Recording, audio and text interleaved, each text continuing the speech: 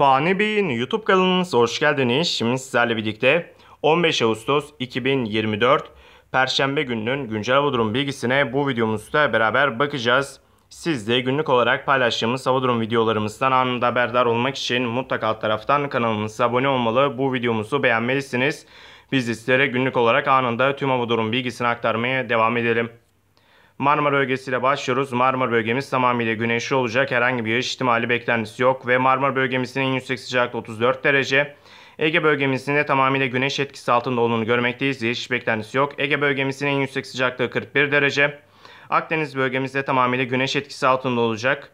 Ee, görüyorsunuz termometrelerde yukarıyı gösteriyor. Akdeniz bölgemizin en yüksek sıcaklığı 40 derece. İç Anadolu bölgemizin üst kısımlarında gök örtülü sağanak yağış ihtimali olabilir. Bölgemizin geneli güneşli olacak. İç Anadolu bölgemizin en yüksek sıcaklığı 33 derece.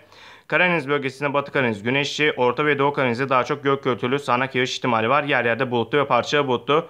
Karadeniz bölgemizin en yüksek sıcaklığı 33 derece. Doğu Anadolu bölgemiz tamamıyla güneşli olacak. Herhangi bir yağış ihtimali yok. Doğu Anadolu bölgemizin en yüksek sıcaklığı 35 derece. Güneydoğu Anadolu bölgemiz her zamanki gibi tamamıyla güneş etkisi altında yağış beklentisi yok. En sıcak bölgemiz konumunda.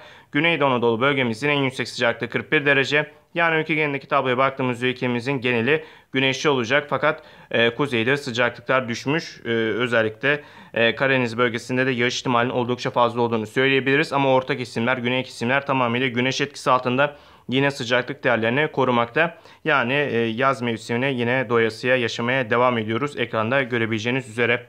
Bu videomuzda siz değerli takipçilerimizle birlikte 15 Ağustos 2024 Perşembe gününün 24 saatlik Türkiye Genel Hava Durum programına bakmış olduk.